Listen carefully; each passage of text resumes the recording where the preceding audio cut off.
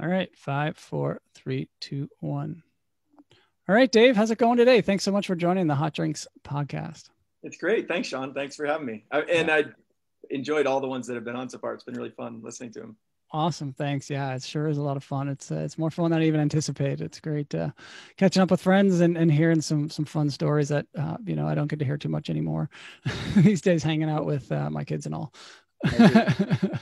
it's fun not to be the one telling the stories for once around the house. So as we start off with most uh, episodes, I want to hear your favorite go-to hot drink in the field after a long hard day. Absolutely. Uh, well, it's funny. I think it was mentioned by someone else. I'm not a coffee drinker, which has occasionally come to um, ostracize me in uh, I teams, or I've, I've, had to prove that I can make coffee. Um, yeah, I'm with you. In the morning, it's I like Earl Grey tea with some sort of milk product, but my go-to hot drink, like if I'm cold, if it's damp, is always hot chocolate with a little bit of the um, milk powder in there. Um, when I was young, it was hot tang, which huh. I realized soon was probably not going to be good for my teeth. Right. Didn't keep that up too long. It was well all through my teens. I think it was I, right. I grew up in the White Mountains, in, or I started working in the White Mountains in New Hampshire, and uh, someone turned me on to hot tang as a hot drink, and I just thought it was the best. Right. Yeah, I'm sure. I'm sure most kids do. Yeah, I think about how much hot chocolate I drank when I was in the field, uh, and I'm like, when I think of it now in my day to day life, and I may have hot chocolate once a week, if that, in the winter, I'm like, wow, I drank a lot of that. I'm surprised I still have my teeth. I've been drinking a lot with my daughters this winter. We've, um, I found the trick is I can, I can water it down, but then I put mm. a little mm. heavy cream in, and they think it's ah. like really good hot chocolate. Uh, so, yeah, I'll, I'll take it. Nice. All right. Well, let's let's jump into your first story. Uh, this it takes place in an area I've been to many many times, the Talkeetna Mountains in Alaska, as well as most backpacking NOLS instructors that go to Alaska. An incredible course area, kind of uh, north of Anchorage, a little east of Palmer. Beautiful, beautiful mountain area. What what what happened down there uh, many years ago? Well, you know, this was uh, this was pre working for NOLS. I was working for another outdoor uh, organization, and um, it was my first summer working in Alaska, and you know it, it's such rugged, beautiful terrain, and it really is sort of this lawless. And as I recall, and this was like '98, maybe 1998. Um, you know, we were route finding most of the way, and we had uh, these were high school kids, um, and there was a young woman on this trip that we were a little bit concerned about actually sending her home because we're worried about she possibly had an eating disorder. Like she wasn't eating much, um, and we were just trying to work through with that to see if it was a, a, something we could manage over the. I think we were there for it was a ten day section. Um, so she was sort of already on our radar, and that we were we had kids leading. Um, you know, we were all hiking together, but you know, we had two kids that were typically leading and we were spread out in this group. There's myself and this uh, other woman who was actually the trip leader. I was the assistant. And we were supposed to the direction was hey we're going to leave our camp hike down to this uh, river which was pretty clear. I mean it was it was quite clear where it was. And um, we get down there and and um, I, am just going to say her name was amy. Um, and everyone's there except amy. It's a little bit loud. There's a river. And i mean she was the person in front of her was like, oh yeah, she was just right there. And all of a sudden she's just gone. And you know, there's really high willows and um, the mm. vegetation there is thick and you're, you're trying to get, um, it's just difficult to see when you're down lower in these, in these drainages. And so we immediately start yelling for her and, um, and she's, you know, she's not answering every, every kid's got a whistle. And it's one of the first things we talked about was, and we had whistle blow, um, sort of sequences. And so we're blowing whistles, like nothing's happening. And um, so she um, was there one minute and then she was gone. Just yeah, she was gone. And and and um, someone's like, oh, she probably just went to the bathroom. And I was like, that then that makes sense. So we wait. You know, five minutes goes by, and then I'm talking to the the trip leader, and I'm and I'm like, okay, this is this does not make sense. But because we were concerned about her, um, that it was sort of this heightened sense of like, all right, this is not. Um, and then all of a sudden, these kids were like, "She's been eaten by a bear." And we're like, I was like, if she'd been eaten by a bear, we would find her backpack. Like, let's not. And they're like, she jumped in the river, and everyone's going to like, you know, DEFCON 10 or whatever. And uh, so we we take a few minutes and we come up with this plan to.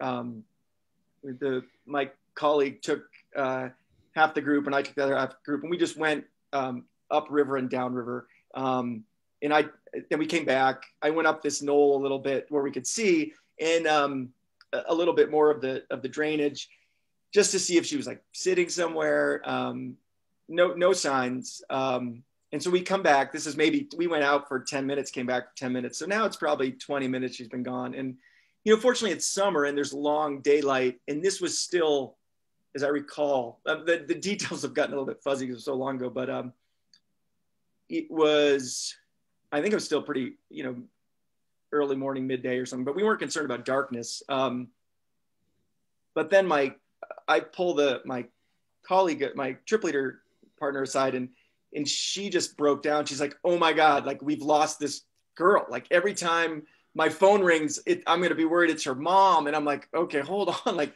time out. Let's um." I mean, her, her phone rings like after the course. After we get back for yeah, the rest like, of her life. Just written it off like she's gone. Oh. Like, okay, hold on.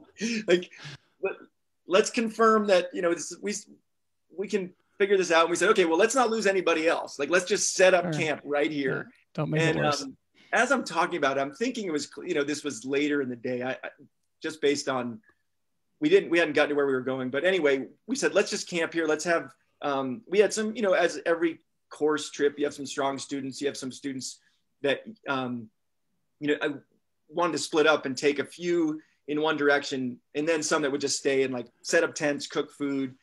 So I went with two or three um, kids, and she went with two or three kids, and we were just gonna hike in a longer, um, just kind of, we, we didn't really map it out too much, but uh, longer search pattern than we agreed would, we would meet back. So we start hiking up and we get up to this rise where we can see really far downriver. And um, I saw these, um, I mean, I thought they were tents and I was like, well, okay, wow, there's, maybe that's an Outward Bound group or a NOLS group. Um, and, and I was like, maybe she saw that and she's just going to head in that direction because she thinks that's she, she can't think it's us because we haven't even set our tents up, but um, you know, maybe she thinks it's people or whatnot. So we just decide to, you know, this is, I don't know what the time frame is now. In my head, I feel like she was missing for multiple hours. But by the time we, I mean, I don't want to ruin it, but we did, we did find her. But um, anyway, we get up to this ridge, we start walking, we start to find footprints, and they're kind of like staggering a little bit. And I'm like, oh my gosh, like what's um, so the closer we get to this, um, what I think is this group of tents, it's one of these ab- abandoned mines in the Talkeetnas, and it's just got these tarps on it. I was like, oh god, like um, so. So my heart sank a little bit, but I was like, well, maybe she's still walking towards that because there's these tarps, and um, so we continue on because now we're following footprints, and um, we come around the corner, and there's Amy sitting on her backpack, and the and I and I still remember like I think to this day, like 20 some odd years later, it's still like the purest moment of joy I've ever experienced in my life, with the exception of the birth of my daughters, where I see this girl sitting there and, and she's like, Dave. And I was like, you know, like, and, and then I was like, what happened? You know, uh, and she's like, you'll be so excited. I ate all the food in my backpack. And so, because we had, you know, been talking to her about our concerns about her eating. Oh, and, right, um, right. So she's okay. She's fine. We're walking back to the rest of the group. And I said, Hey, what, what happened? Did you, um, she said, well, I got to the river and I didn't see anybody else. She was in front. Um, and she said, I waited for a second, but I didn't see anybody. So I just kept walking. Cause you know, I'm, I've been slower. I thought I might be behind people.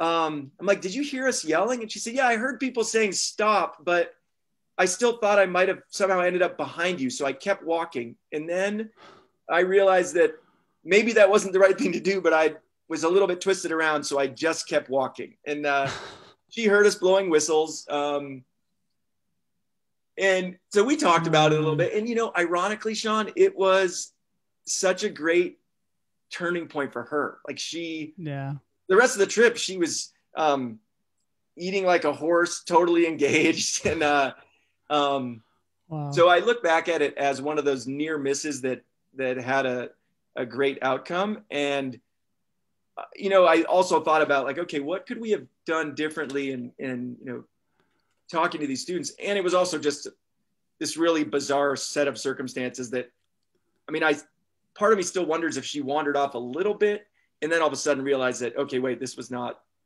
right. Okay, but um, it it could have been it could have been much worse than it was, and I I can still picture if I close my eyes these.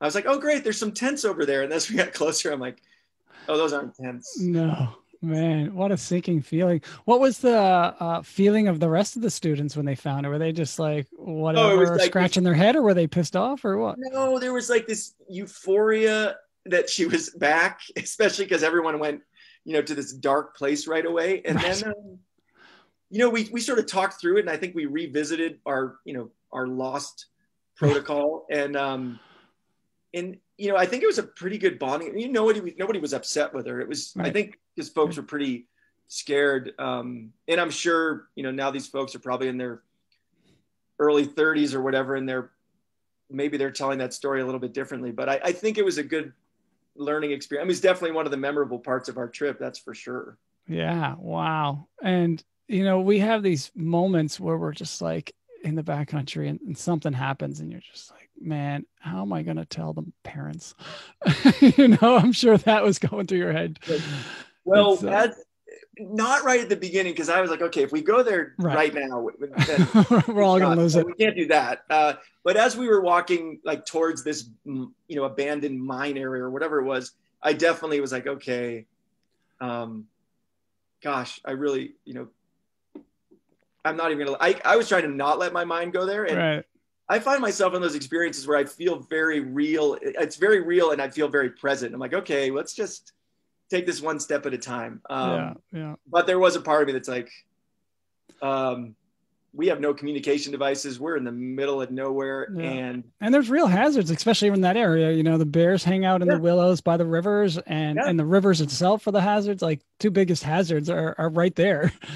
Well, I still have a picture. I, I found it a couple months ago of um, of that trip where we were down at the river um, and there was a there was a grizzly footprint, and I took my my boot off and my sock, and I put my foot, my 10 and a half foot in the footprint, and it was and it was still not bigger than the footprint, and I was you know marveling at how small my big feet are.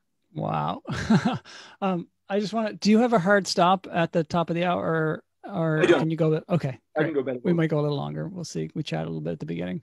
Um, wow, that's fantastic. It's um, and then the rest of the trip carried on, no problems, no major problems like that. No, it, it really was like this pivotal. It, it, was sort of a bonding experience that would have been great yeah. to have without um, those few hours of um, yeah uncertainty panic yeah yeah i can imagine yeah and i see like those types of things often happen in the first two days and you're just like we just haven't had a time to teach that class or we haven't taught the you know lost protocol or whatever. It's like gee we can't teach everything in the 24 first 24 hours. Well what was really interesting was when when she said well i heard people yelling stop and i was like well you know at that point it was like i was just more i was so grateful that we were she was there and she was okay. Right. Um and I, I think I wanted to, I think an older version of myself might have, you know, maybe later on asked some more questions. Like, sure. hey, revisit that? And, you know, like a few days later. And yeah. uh, my 23 year old version of me was not, not there. Get on, right on. Awesome. Well, I'm glad that ended up uh, safe and, and she's fine. and uh, I, I could see it happening. You know, the eyesight is it's hard to see in those areas with the, and it's hard to hear. Yeah, but, with, uh, the, with, the, river, I could see how it'd be a little bit confusing for sure. And it's just so um, when you get right down in those drainages, there really yeah. is um, not you know not much. Even when you're really close to people. Yeah, absolutely. All right. From, Oh yeah, go ahead. Yeah, let, us let, move on to the to the next uh, story from uh, from your days with NOLS. This is one of the many NASA trips. Uh, for people don't know, NASA uh, has done trips for years with NOLS, uh, some custom education trips focused on leadership development. That and and you had the fortune of working a few of those. Dave, tell us about what happened yeah. on, on one particular course. Well, this one was it wasn't a specific NASA course. It was one of these. Um, I think they're market as executive leadership courses and there's a executive mm-hmm. leadership kayak and exec, executive leadership llama packing and so this was one of the llama packing mm. courses in the winds and it was i mean it was just phenomenal because uh, i the first time i went llama packing i said why am i why am i carrying a backpack i've had back problems in the past and this this is great this llama right. is carrying a lot of stuff and i've got a day pack so we were um the joke um I don't think this was the joke in admissions, but um, people would say, "What do you mean your work? What does that mean? You have it's executive course for llama." I'm like, "Yeah, it's for people that can't carry their own weight." Um, um, right. And they were really wonderful people. And so this one fellow uh, worked for NASA and just an incredibly wonderful, ludicrously intelligent person and uh, really mild mannered. Um, a couple distinct memories I have of him was um, we did a summit hike one day and we got on the subject of this book Tribe by Sebastian Junger. I'm not sure if you, are familiar with it. Um, and, and he was talking NOLS grad as well.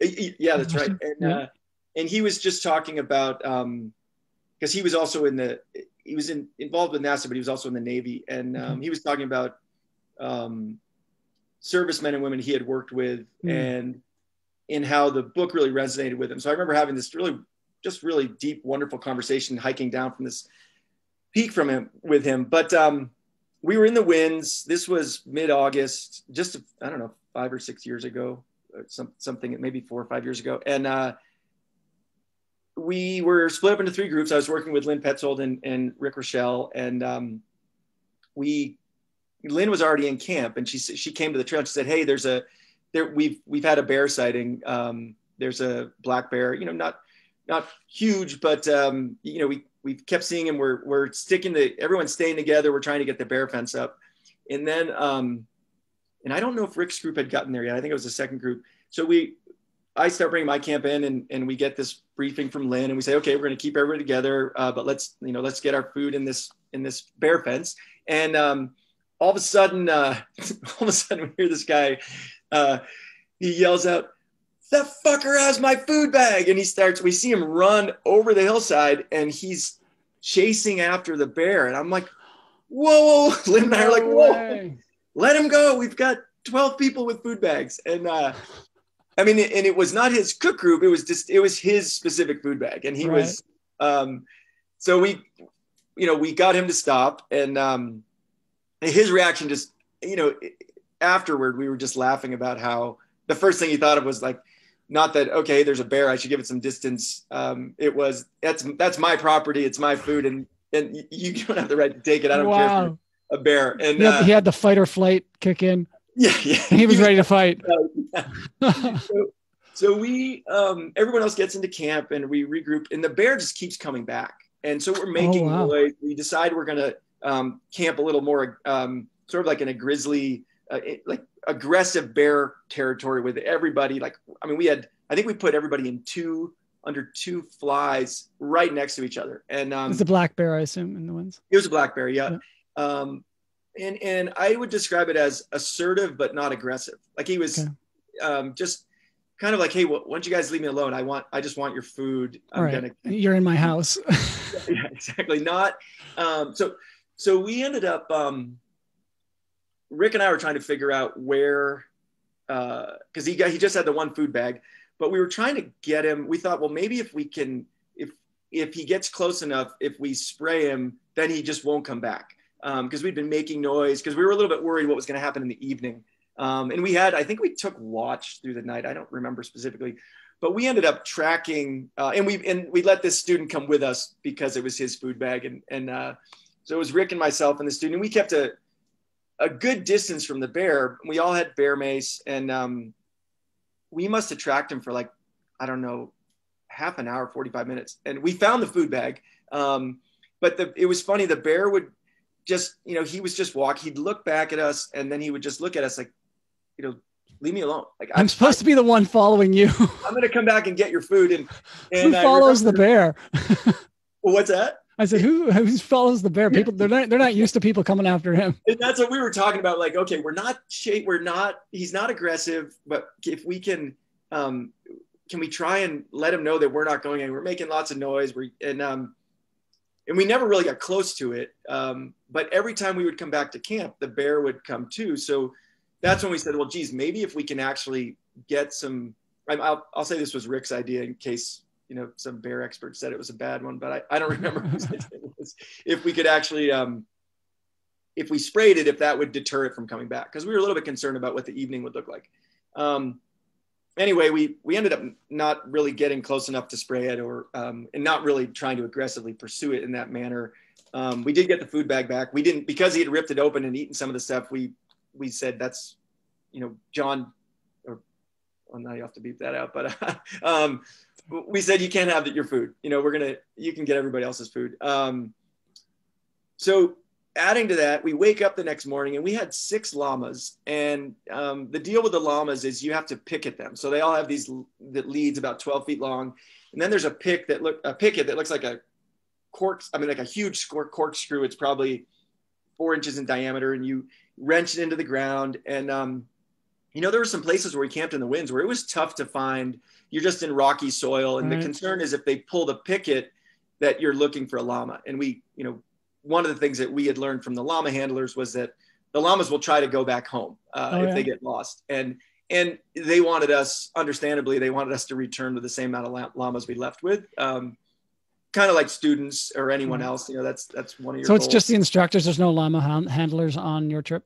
No, right, exactly. They gave us like they give us a quick little tutorial, um, and um, and the llamas are. I mean, they're really great. They need to. They're pack animals, so you have to have an even number of them. Um, and they're pretty mellow. Although we had a couple stubborn. Rick got spit at, uh, and he got stuff in his eye. Oh, um, that might have been on a previous course, and he just told me so much. It, it, seemed awful, painful, and it was. If they don't want to go up something steep, and you, you know, really, if if you try and convince them, then that's when they can get a little ornery. But for the most part, sure. they were really wonderful. There's Ranger was my favorite llama, and um, I have a picture on my wall with Ranger and I. He's just a wonderful animal. Anyway, we wake up and we have five llamas, not six. Oh, and no. uh, so the bear came back. This is what we hypothesize is the bear came back, spooked the llamas. So when we're going to get the llamas, that's when we realize we're like, wait, we're we're down a llama. And I look over and I'm like, oh no, it's Summit, who's our largest llama. And and instantly I'm like, oh, I, I picketed Summit. Like I Summit. I, I uh, no. oh, no. That's that feeling. Yeah, it's like, did I tie up that boat? Did I? Yeah, right, exactly. I'm like, Summit was my llama, and um, the, and I was like, I know that that picket was in there because I was really because a couple times it was hard to find a good, um, a good purchase, and this was in sort of uh, not really damp, but like a meadow where it was really in there. So I'm like, oh my gosh, I I I was confident that was in there. And then fortunately, one of the students goes over and goes and kicks this thing and he goes, Oh, you know, here it is. And he, he pulls the picket and the picket is still in the ground and it's bent. And the llama, this was, it was the youngest and I think really strong, some as I remember. And he broke, there's a metal ring that connects oh, to the picket and he broke that ring off. So now we have this missing llama with a 12 foot lead attached to it. Um, and I was most concerned about llama about about the llama, but I was I felt a little vindicated. I was like, I'm so glad that that picket is there. Um, that feeling. So then I um, the plan was I think we called out to let the llama handlers know, and I think we called um, Rocky Mountain to let them know that we were um, we had all our students, but we were missing a llama, and um, and then I went and on this completely futile mission to hike down the trail for you know we agreed that there was no harm in it, but probably wasn't going to be um, that helpful. But while everyone was packing up, I just went and kind of sl- slowly jogged down the trail a, a couple miles, calling for Summit, which was, you know, like the llama's going to come back. Um, we never found we never found Summit, and um, and the concern is with this picket or with the 12 foot lead is that they if they get it caught on something, and no one finds them, then they're just going to starve to death. And, and so we were really, we were really genuinely concerned about the well-being of this llama. And um, I think we had two days left and we called the handlers. Um, we got back into town. They still hadn't found him. Um, uh, Rick. What did you do and, with all the food and equipment that the, that llama was carrying? If I remember correctly, they, they carried 40 pounds per side and 10 on top, or maybe 30, 30, 10. So we split it amongst, um, because we were later in the course, so we'd eaten right. down a bit more food. So we just split it up and then we put sure. some in the packs we had. Um, so we managed that. But, you know, the group was, we were all just like, oh gosh, hopefully, you know, someone spotted Summit. So we went and put signs up at the trailheads when we got out. Um, and we asked the, the folks at the, the branch to do, this, to do the same thing but when we left, there was still no sign of Summit. And then um, Rick was going on on trail runs um, with Shannon and some other friends of theirs. No, no sign of Summit. And then I got an email maybe four days after the course that Summit showed up at the parking lot at the trailhead that we left at, and uh, no still had the lead on, if I remember correctly. Um, and he got checked out by the vet, and he had a scratched cornea, um, which they were, you know, which was able probably from a branch or something, which he, was able to recover from. But uh, so the, there was a happy ending to that. Um, but we all left this, you know, the students, and we all left a little bit dejected, like, oh gosh, like what, you know, what happened to this llama? And um, yeah, it was it was an exciting, um, probably 24, 36 hours uh, with it. And I don't know what happened to the bear. You know, hopefully it was relocated because I'm assuming they probably would have. Um, I actually, when we went, got out, I think there were more reports with the Forest Service of a of some of an assertive bear. You know, but Right. you know, no one had bitten bitten, but it just it seemed like a um, bad outcome for the bear if its if its behavior kept. You know, obviously Sure. there had been some sort of um, exposure to food or what. I mean, because it really was not afraid of us at all. Yeah. Yeah. What a kind of a coincidence, I guess, having that bear encounter and then the llama missing. It just like it was too close. Yeah. um, but that was uh, summit. Um, it was a, it was a happy ending. You know, we were all like relieved. We had this email chain of our whole student group, and everyone was really excited to see that that summit right. made it out. So, so you managed to get your paycheck at the end. They, they didn't hold that Yeah, for the llama. well, that was the other thing because we were. I I know that was actually um, one of the things we were talking about was that's a pretty hefty price the, the llama. yeah. Yeah, but those courses are still happening. I think there's three sections this summer. So I don't know if I don't know if Summit got to you know Yeah, opt right. out on his rap sheet for the summer. Be like, nope, don't, don't send me with those guys anymore. yeah. Right. I think they have a new, um, a new peg for him. yeah, yeah, yeah. yeah That's hilarious. Wow. That's funny. Yeah, llamas and animals in the backcountry are, you know, it's so unpredictable and you never know what's going to happen. They're, they're great when it's working, but when it's not, then it's, uh, it can be Yeah. all haywire. I used to, uh, before NOLS, I did a bunch of horse packing trips and, um, those are always, you know, and they always seem to be more work. like it, it Yeah. sounds nice, you're not carrying your packs, but you get to camp and it's like your first hour is just with the animals before you even touch your stuff. Yeah, So absolutely. in some ways, they can be more work. The addition though was it was really nice to sort of um, to be able to just interact with these with, with these really cool animals in the in this Yeah. it, it wasn't like we were moving faster because they don't go that fast. It, it, it made me think about being able to bring my my kids who are Mhm. still pretty young and can't carry a lot of weight, like further into the backcountry, and Hmm. and other folks that for whatever reason can't carry a lot of weight to maybe get to some areas that they wouldn't be able to. And that's Right. um, Yeah, that makes sense. I, I like the allure that, that those options there. Yeah. So you haven't, you haven't taken your kids yet with the llamas. I wanted to last summer. I was going to try and do an alumni llama packing trip and bring them on it, but with COVID, everything got shut down. Right. So no, I, Oh, now I just interesting. make them haul their own stuff. Right. We just don't go very far. I just take them canoeing now. Yeah, we I took them rafting last summer. That's a lot Yeah. easier. You can put Right. a lot on on a boat. Absolutely. Right on. Awesome. I love that story. Let's uh let's talk about um this is our first kind of uh, wilderness medicine course. Obviously wilderness medicine is a big part of, of outdoor education and, and just about every outdoor educator has been through one or multiple wilderness medicine courses. And I know you've been doing a bunch of teaching over the years and uh, probably have lots of stories just from those courses alone, but this kind of one significant story stood out for you. Let's hear about it. Yeah, this one this one stood out um, for for a number of reasons. Uh, this was I think 2015, and it was in the spring, and I I run a lot of wilderness medicine courses, a lot of WFRs and research in the Bay Area, and there's a climbing gym that I've been running courses at for for many years, and it's a you know it's this cavernous climbing gym. It, it's part of the in the Presidio, which used to be a military base, and so they it used to be uh, an air an old airplane hangar. Um, so they've got this these really beautiful glass door garage doors that come down, and they open it up, and there's I don't know how how high up it goes, but pretty far. And then there's a yoga studio that we use for the, the classroom. But for security, they won't let us out any door except the front door because they don't want people coming and going in the gym. So whenever we go out to do a scenario, we have to walk basically through the climbing area and then outside to this uh, big field. And um, I, I think we were on day seven, which, if I can remember correctly, is the day we do CPR because we were coincidentally teaching CPR that that day and uh, of a 10 day course. of a 10 day course. Right. And um, actually, yeah, I think that is right. And um, all of a sudden we were going outside for a scenario, and this guy who um, who was just a funny guy in the course, like he had a real dry sense of humor, and um, and he he was really understated in in uh, in the way he presented himself, and and and sort of calm. So he was going out the out the classroom to walk through, and he and then he looked back and he was like, "Hey, he's like, there's someone unresponsive out here, and people are you know asking for help." And I, my first thought was like, "Oh, that's funny," because we were going out to do a scenario, and mm-hmm. um, and you know sometimes we'll just give some pitch when we prep people, and and then he was like, "No, no, I'm serious," and so.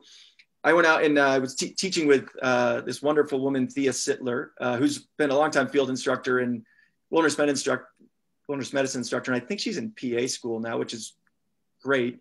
Um, and so we went out there, and the first thing I saw was this guy uh, doing really great chest compressions on this young woman. And I went over and I said, "Hey, I'm an EMT. Do you um, do you need any help?" And um, and the gym's packed with people. This is you know middle of the day on a it might I don't know what day. It was probably a weekend. Um, and our whole class was just standing there, and and the first thing going through my head is, "Oh my gosh, there's this this young woman who's in cardiac arrest, and we're you know knowing the likelihood of survival without a number of things um, like an AED and being close to a hospital, the survival's not that great. And I was like, well, that's the first thing I thought of. And, and her brother was there and he was, you know, understandably distraught. Um, but we were in a, you know, pretty urban area. Uh, so he said, you know, listen, she just collapsed. I can't find a pulse. And he stopped and we felt for pulses again, couldn't find a pulse. And she had these agonal respirations, which, if you remember from your last CPR mm-hmm. class, these just really occasional deep gasps. Um, and they they look really disconcerting, but they, you know, this woman was so young that it took me a second. I, you know, we we just checked. There's no pulses though, so he kept going with compressions. I started breathing for her, and then um, someone showed up with the AED that they had in the gym, gave it to Thea. Thea put it on her, and um, and then we turned the AD on. It said shock advised, and that was the first time when I was absolutely mm. convinced that she was in cardiac arrest because wow. even though I know how to check well for pulses, right. and, and, we were, you know, there's two of us doing it, and it turns out this guy was in. Uh, he was taking an EMT course somewhere. He had said afterward, he hadn't finished, but um, I've always been concerned about that of like, you know, sometimes we're in class and I can't find the pulse on my patient that I'm trying to to do yeah. CPR on that's perfectly alive and healthy. I'm like, how am I going to find it on someone that's marginalized, you know? And then so when so when the AED said shock wow. eyes and, and, I actually was so focused on, you know, waiting for when he got to 30 to go breathe for her that right. he had to sort of tap me on the shoulder and say, okay, you know, back up. So we shocked her and then he immediately started doing compressions and I I went down to breathe for her and all of a sudden her eyes just opened up and she took this big gasp and um, wow. um and I said, you know, hey, if you can hear me, squeeze my hand. And she squeezed my fingers and I asked her name and she told me her name. And I said, you know, you're at the climbing gym and you've had an accident. Um, and so she, you know, then um, the, this is, this is a national park. Then the, uh, a national fire, park within the city of San Francisco. Yeah. So the Presidio is part of the Golden Gate National Park or Golden Gate Natural Recreation Area. Sure. So all of a sudden, um, park police and um, and a National Park Service ambulance show up, and uh, and their response time is really fast. This was maybe five or six minutes. Um, and I said, I said, well, she was um, in cardiac arrest, and um, she was given one shock, and we resuscitated her. And the guy's like, no, no, no, no. Are you are you sure? I'm like, no, we we, we definitely shocked her, and and you know we were definitely doing CPR, and um, so they took her. You know, they they transported her, and then all of a sudden, then we're just everybody, you know, she's gone and we're all just, there's a gym full of people, our whole class and, and her brother who after the, um, I think right after that, or maybe during that, it was either Thea or one of our students went and, you know, sort of moved the brother out of the immediate scene, which was just a really thoughtful and, and correct move and astute decision um, because he was, you know, really upset, understandably. And, um, so we actually i don't it wasn't whatever day it was we had an evening session that night. And so we you know we we were supposed to or no we whatever it was supposed to be debriefing. And we said let's just take a break.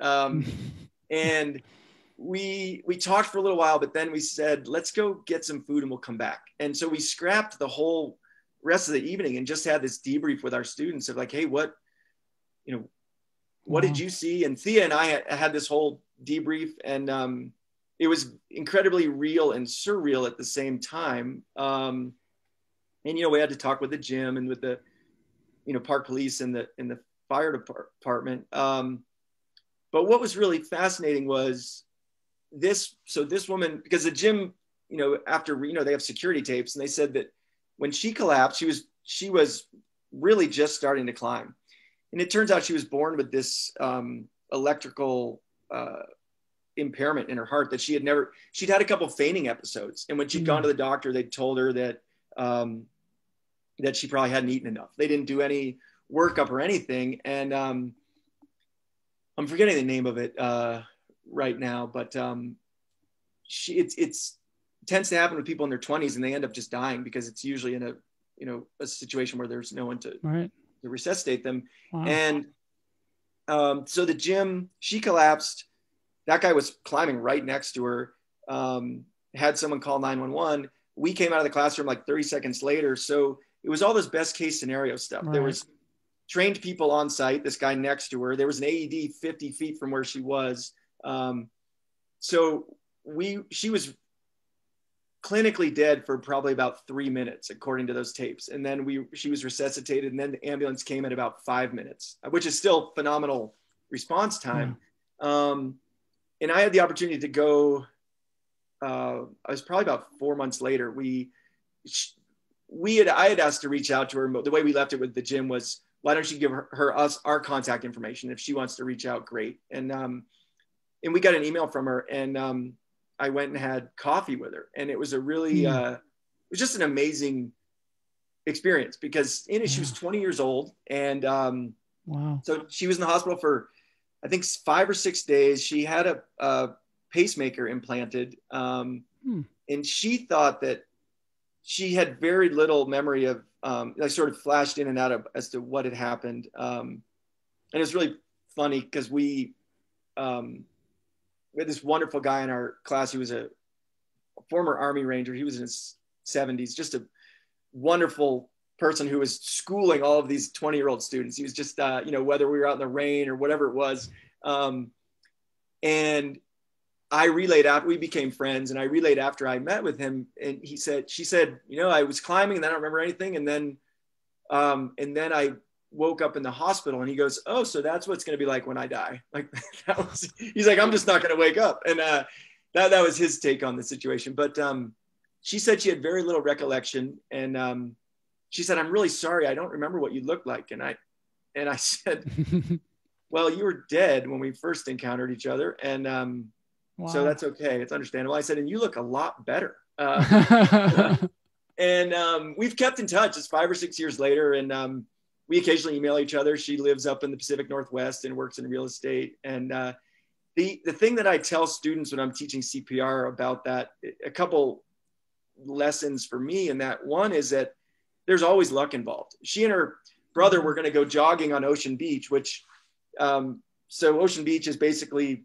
this you know maybe six mile beach along the coast of California on the outskirts of San Francisco, and there you know there's people out there but there's a lot of places where there's nobody or uh, and there's there's cell service but you might not encounter anyone and if they had jogged on ocean beach and this had happened the chance of her surviving would have gone down considerably just because they might not have been anyone else around. Or if it was mm-hmm. just her brother and he was trying to do cpr there's there's definitely no aed anywhere near there.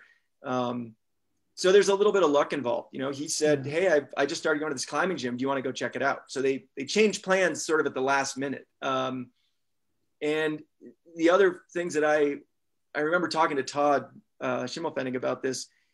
You know, when I was trying to breathe for her, um, you know, because we do all these things on mannequins, and I've had a couple other uh, experiences um, breathing for people since then. Um, but this was the first time I'd actually done CPR on somebody.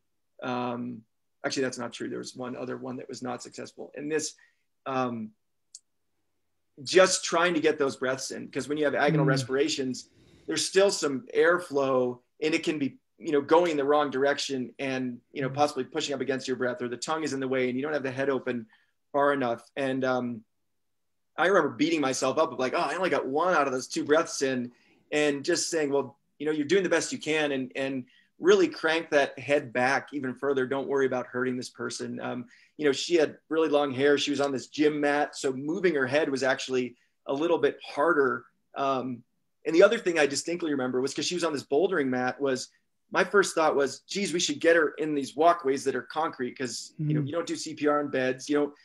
But the guy when he was doing compressions was her chest was really going down. It wasn't like her whole body was moving. So the mats were firm enough. But I had voiced this out loud, and then some voice in the back was like, "Don't move her. You're not supposed to move her." And it was just some random person in the gym, and we we were discussing it later, and and I remember thinking, "Gosh, you don't."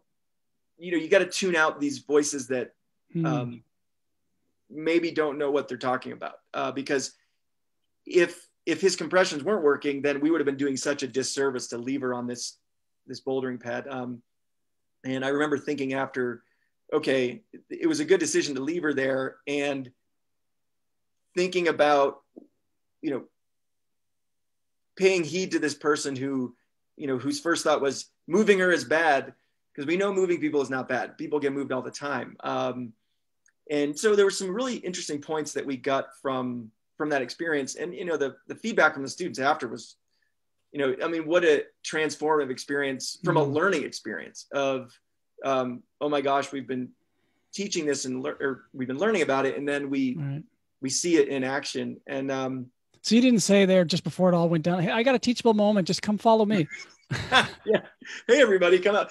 No, the first thing I thought of was like, oh my gosh, this is awful. There's this woman that is dead and she's going to stay dead. And our whole class is right here. And there's a gym full of people and her brother's here. And, uh, and then I was like, okay, well, we're going to do the best we can. And happens that she's young and, and um, there's an AED right there. And, and we're going to do this really well. And, uh, you know, and so when I'm teaching CPR classes, I, I often tell that story of, and especially folks that have taken CPR so many times and they get bored with it. Like, hey, listen, work really hard when you do these compressions and and and practice like it's somebody that you really care about or that you don't know. Because if you have the opportunity to to help somebody get resuscitated, it's pretty damn cool. Like I, mm. I love getting emails from. I mean, I see her post that we were friends on Instagram or something, and it's.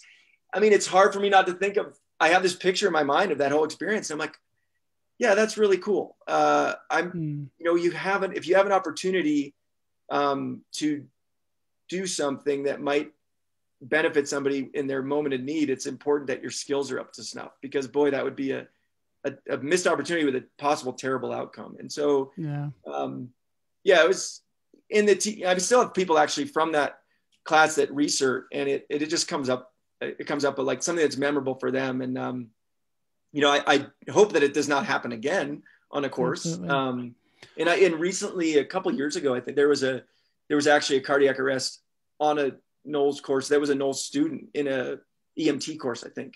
And um, the, uh, I think it was Todd and Marco and uh, Dan Zacks resuscitated this student, and, you know, with the help of the, with the help of the other students, which was just wow. another amazing transformative experience. Yeah. Um, when I did my first WFR, it was in North Carolina. I was working with Outward Bound there, and it was a group of uh, I think they're probably semester students that were doing it uh, with uh, a group of instructors um, that some were researching and that, and um, they went on a, on a day off. They went on a paddling trip at a nearby river, and one of the students dislocated his shoulder. And I, I guess the day or two before it was when we did dislocations. And so all of a sudden, everybody's like, "I want to do it! I want to do it! I want to do it!" yeah. you didn't unfortunately you didn't have time for people to be like hey i dibs i want the i want the breathing here let me let me take over the breathing you can do the chest do the other shoulder do the others there's a lot right. of us right exactly yeah um, yeah wow well uh, yeah i'm sure she was uh, obviously thrilled that you were there and you know it's amazing we you do so many of these recertifications you do so many of the training and and the reason you do it is because you want it to be reactionary you know yeah. if you sat down and took out got out your book and we're right. like, right. what was that page again for resuscitation? You know, it's just like you right. don't you don't realize that you're going to be able to react to this until it happens. And and obviously they you know the curriculum is this way and you teach it in this way for this reason because there is enough data and field experience to show that you know repetition does work and and it does come back at a time of need when it's current in your brain yeah yeah and and that's you know sometimes when i'm when we are when things do get repetitive it's just you know telling something like that or even a snippet of it hey let's just let's work really hard on here's the skills that are important. You know th- yeah. doesn't matter if you know all the science and all this. No but here's what we want you like work really hard at this because if you if you come upon that situation then you're going to want to show up with your a game Right. Well, you know, they say the best teaching is stories, and and you got a good one for your students for, yeah. from now to eternity. I think they'll they'll listen a bit more. You know, if yeah. uh, if every flight attendant got on the flight and said, "In my last flight, when there was a crash, this was really important information that I shared," so everybody would listen. take off their heads. yeah. yeah, but now you can actually say that in my last course or right. in a yeah yeah wow well dave this has been a real treat uh, i really appreciate you coming on the show and, and chatting with me um, I want to get to some some rapid fire questions in a minute, but um, before we go, I know you have your own business and you're involved in a bunch of other things in the in the Bay Area and outdoor education, risk management related. Tell us a little about what you're going on, what you have going on, and, and the best way for people to get in touch with you if they want to follow up. Sure, thanks. Um, my business is called ReadySF, and the website is readysf.com. Um, we sponsor a lot of wilderness medicine courses in conjunction with NOLS, and then independently, I run a lot of um, first aid and CPR classes for schools, businesses, wineries here in the in the Bay Area. Uh, and the wineries has been that's been actually a pretty fun one because um, hmm. they they pay and they give wine, which is um, wow. not during the training, but they don't pay in wine, do they?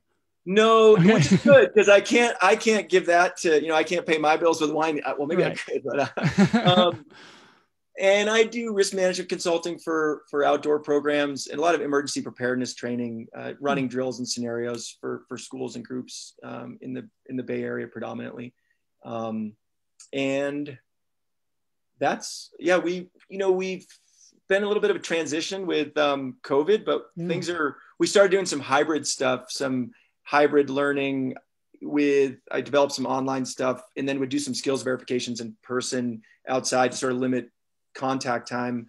Um, I'm one of the California has an, a new epinephrine law, and NOLS is one of the uh, approved providers, as am I.